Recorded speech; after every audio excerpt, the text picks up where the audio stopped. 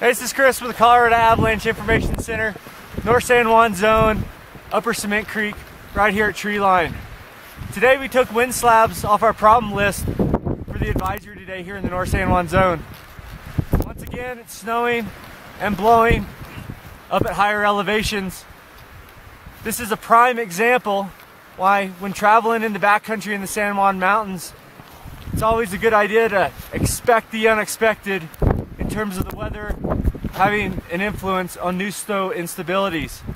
We know with the strong winds and the new snow that we're easily getting drifts forming on leeward slopes from these northwest winds.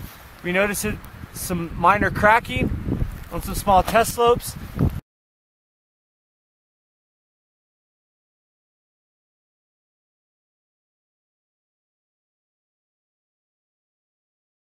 This is enough evidence for us to realize that new slab and new storm instabilities are forming. Therefore, we're going to avoid slopes that are open, prone to wind loading, and places where they could be getting cross-loaded with some steep convexities, and we're going to stick to terrain in the trees to avoid these new wind slab problems.